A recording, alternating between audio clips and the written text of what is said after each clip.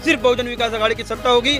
आने वाले वक्त में चाहे वो 2022 में चुनाव हो या 2023 में हो, उससे हमको मतलब नहीं। तो भिवंडी का विकास कभी हुआ है और ना होगा। जब तक ये लोग की यहाँ पर सत्ता रहेगी, तब तक ना काम होगा, ना होने देंगे। हर जगह टांग अड़ाते हैं। उनको टांग को खत्म करने के लिए सिर्फ़ बहुजन विकास आघाड़ी काम करेगी। भिवंडी में मैं आपको चैलेंज करता हूँ। देखिए, भिवंडी में तो इतनी समस्या है कि हमको खत्म करने में इतना टाइम चला जाएगा। इस वार्ड में समस्या कहाँ कहाँ हमारे ग्रेड दोस्तों की गणपति बैठी हुई है, उस चीज़ को उनको ध्यान में रखते हुए वो रोड को सही करना चाहिए था।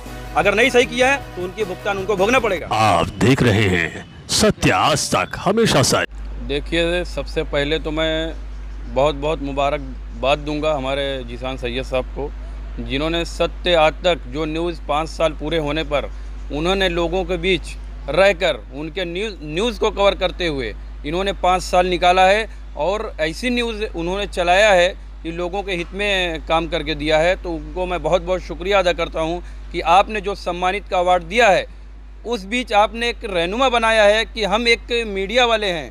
हम इज़्ज़त के साथ साथ अवार्ड भी देते हैं।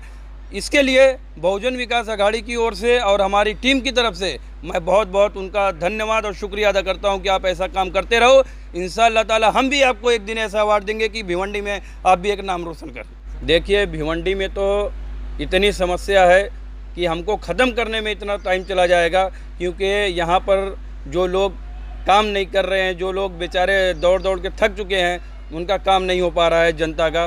तो मैं एक आह्वान करना चाहता हूँ कि जिस तरीके से काम नहीं हो पा रहा है भिवंडी के अंदर, उस तरीके से अगर काम करना है तो हमको एकजुट और एक प्लेटफॉर्म पे आना होगा, तभी काम हो पाएगा। ना तो भिवंडी का विकास कभी हुआ है और ना होगा। जब तक ये लोग की यहाँ पर सत्ता रहेगी, तब तक ना काम होगा, ना होने देंगे। हर जगह टांग अड़ाते हैं। उनको टांग को खत्म करने के लिए सिर्फ़ बहुजन विकास आघाड़ी काम करेगी। भिवंडी में मैं आपको चैलेंज करता हूँ। हमारी पूरी उम्मीद है कि पूरे सीट पर लड़ाएँगे।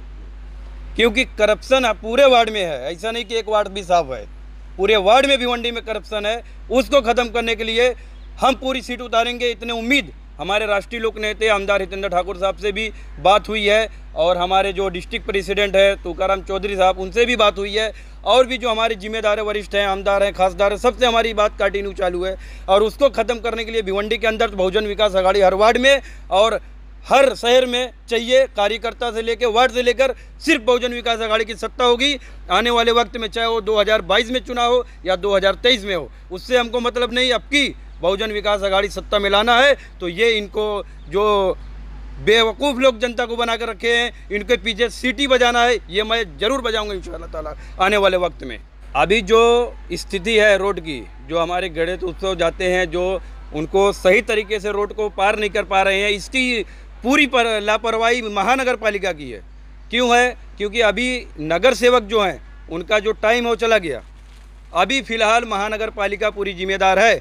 ये जब तक ये टाइम उनको देखना चाहिए था, सर्वे करना चाहिए था, यहाँ के आयुक्त साहब को बैठे हुए कि किस किस वार्ड में समस्या कहाँ कहाँ हमारे गणेश उत्सव की गणपति बैठी हुई है, उस चीज़ को उनको ध्यान में रखते हुए वो रोड को सही करना चाहिए था।